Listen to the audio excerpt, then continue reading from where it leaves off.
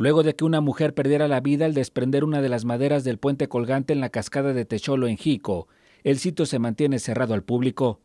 El cierre del acceso y los alrededores de este entorno natural ha puesto en jaque a los comerciantes, pues literalmente aquí no se paran ni las moscas y por consiguiente las ventas se han desplomado. Pues sí, nos afectó bastante, patrón. Ya, sabe que aquí nos afecta todo lo que la, cascada está cerrada. Digo, Ahora no quieren arreglarla porque la cascada la tienen que arreglar como de lugar, porque hay mucho turismo que baja, autobuses y todo.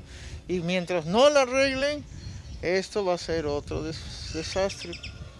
Los vendedores de la zona están preocupados por la situación, pues la cascada de Techolo es considerada uno de los principales atractivos de Jico y el cierre permanente se traduce en que la crisis económica se agrave, situación que el sector turístico vive desde el inicio de la pandemia pues sí nos ha afectado demasiado. Aparte con lo de la pandemia también.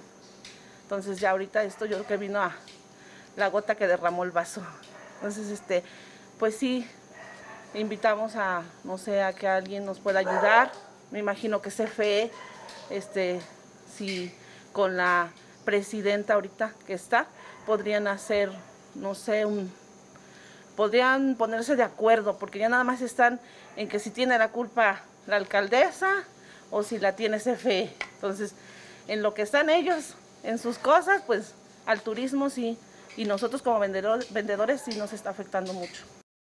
Los comerciantes piden que tanto el ayuntamiento como la Comisión Federal de Electricidad lleguen a un acuerdo para poder invertir recursos en el mantenimiento del espacio. Esto ayudaría a mejorar la situación que vive el sector turístico jiqueño. Hugo Garizurieta, RTV, más noticias.